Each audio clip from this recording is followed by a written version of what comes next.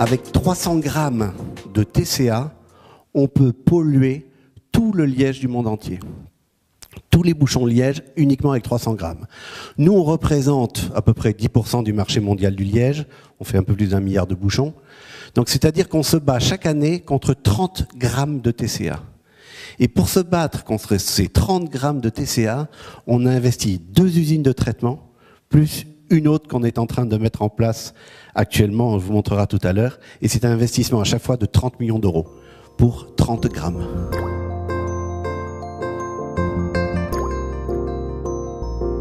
84. Donc, euh, il y a quand même toute une percée donc, des œnologues dans, le vignoble, dont tu as fait partie. que, que faut-il en penser? Du bien.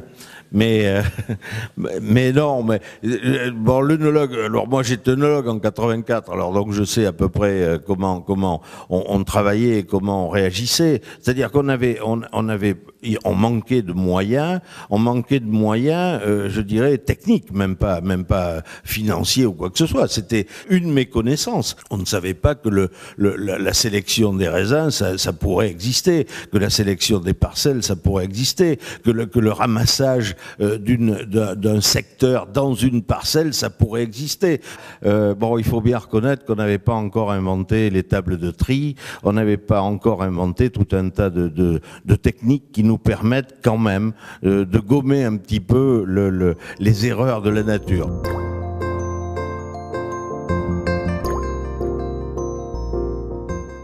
En, 30 ans, l'œnologue a beaucoup changé. Est-ce qu'on peut faire un petit retour des grandes étapes Parce que là, il y a quand même un certain nombre de jalons? Bon, je remercie Diane de ne pas avoir mis de photo de moi il y a 30 ans, parce que vous auriez vu comment l'œnologue a pu changer en 30 ans. Notre évolution s'est faite dans le, vignoble, sur le terrain, et notre évolution s'est faite au niveau des chais, dans la compréhension de, euh, du traitement du raisin. On accumulait quand même des erreurs qui sont aujourd'hui des erreurs techniques qu'on jugerait insurmontables, on a cumulé ça. Bon, on a appris tout ça, et on a appris tout ça tous ensemble, je dirais. Quand on nous donne l'ouverture et la possibilité de faire le meilleur vin possible, euh, ben d'abord c'est un bonheur, et deuxièmement, euh, même, même, si on n'y arrive pas d'ailleurs, mais c'est toujours un plaisir de le faire, et deuxièmement, ça donne des résultats que l'on connaît. Et on, on a, je pense, dans les dix dernières années, on n'a jamais bu aussi bon.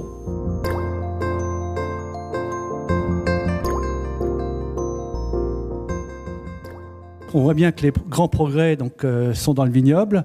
Est-ce qu'il y a beaucoup de choses qui ont changé dans le vignoble? On est, on est tous à peu près d'accord sur les densités qui, euh, euh, qui, bon, pas ici parce qu'elles ont jamais tellement baissé, mais enfin un petit peu quand même. On avait, on avait tendance à faciliter plutôt le passage du tracteur que, la, que les hautes densités de, de, de, de pieds de vigne. J'irai au point de vue clonal. Bon, vous savez que les clones, on les a, on les a pas inventés pour faire des grands vins. Les clones, on les a inventés parce que on avait un état sanitaire des, du végétal euh, tellement euh, dramatique euh, à la fin des, dans les années 50 et à la fin des années 50 surtout après les gelées de 56 parce que tout le monde plantait ce qu'il trouvait et pas ce qu'il voulait. On avait un état sanitaire tel que la, la recherche s'est mise à travailler sur les clones, mais les clones étaient avec une idée, c'est-à-dire bon la résistance, peut-être un petit peu plus aux, maladies parce qu'il y avait eu quand même les années 30 avec le mildiou, avec tout ça. Donc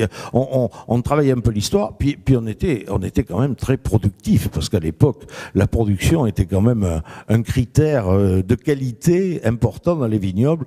On se souciait un tout petit peu moins de la qualité et on était quand même assez productif.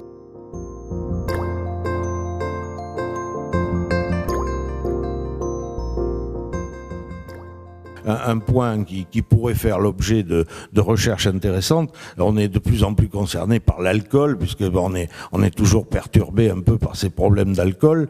Euh, bon, peut-être qu'on peut trouver des solutions au vignoble pour arriver à faire mûrir des raisins au sens de la maturité que l'on aime ou que l'on euh, que l'on définit aujourd'hui mal parce que chacun a la sienne définition mais mais on peut peut-être arriver à faire mûrir des raisins en produisant moins de sucre bon voilà je pense que ça sera des axes de recherche pour la viticulture future et, qui seront euh, autant de points qui garderont la qualité que l'on a su atteindre aujourd'hui en respectant aussi ben, certains points de vue notamment concernant l'alcool.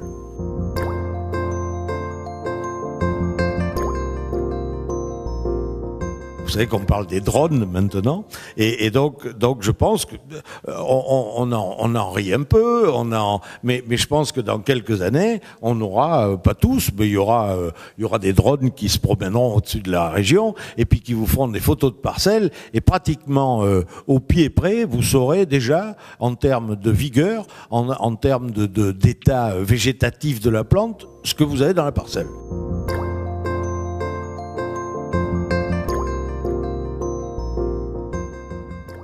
Il y a quand même un phénomène qui a, qui a beaucoup influencé Bordeaux, qui est le phénomène Parker. Alors, tu connais bien Parker, qu'en penser dans n'importe quel pays du monde, euh, bon, la référence, euh, le type, il va toujours sortir ou un bouquin de Parker ou, le, dernier Wine Advocate. Bon, mais il faut se dire quand même qu'il y a euh, certainement un travail qui a été fait, une qualité de dégustation. Je pense que on ne reverra pas euh, le, un phénomène par comme on l'a vécu, parce qu'aujourd'hui, le, pauvre euh, homme ou type, on va dire, qui voudrait, qui voudrait s'attaquer à ça, il y a une telle quantité de vin à goûter à travers la planète que c'est impossible à réaliser. Euh, ce que je vois, c'est qu'il y, y, y, a une augmentation du nombre de gens qui s'intéressent au vin à travers la planète. Bon, alors, bien sûr, tu parlais de la Chine, qui est le, marché euh, qui, a, qui, a, explosé dans les sept ou huit dernières années ça va continuer, parce qu'il y a une volonté euh, euh, étatique de, le faire continuer, donc ça va continuer.